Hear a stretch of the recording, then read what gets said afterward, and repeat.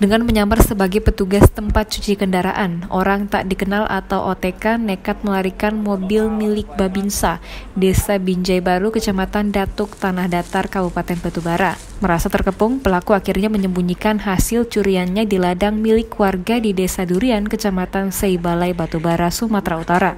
Menurut korban Suryanto, sekitar pukul 8 pagi di tempat pencucian kendaraan Manik yang terletak di Jalinsum, Desa Binjai Baru. Kondisi tempat pencurian kendaraan masih tutup. Di lokasi tempat pencucian sudah ada seseorang yang sedang menggeser mobil seperti layaknya pekerja tempat pencucian. Salah seorang menghampiri korban dan meminta kunci mobil dengan alasan ingin menjemput pekerja lainnya. Tanpa merasa curiga sedikit pun, korban menyerahkan kunci mobilnya kepada pelaku.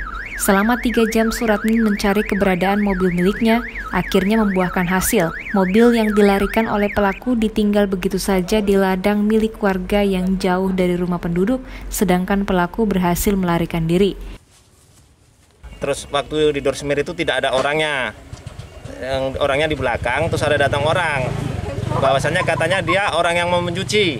Habis itu dia geser-geser motor, habis geser motor terus katanya nanti kalau ditunggu biar cepat saya panggil kawan di belakang gitu. Habis itu terus dibawa keluar mobil itu. Terus dibawa lari. Hmm. gitulah kejadiannya pak. Jadi kalau lari ada yang ngikuti atau enggak? Nggak ada. Nggak ada. Terus bisa tahu mobil ini di sini gimana ceritanya Pak? Kita cari-cari Pak, ada yang informasi-informasi dari telepon-telepon gitu. Dari Kabupaten Batubara, Sumatera Utara, Soleh Pelka melaporkan.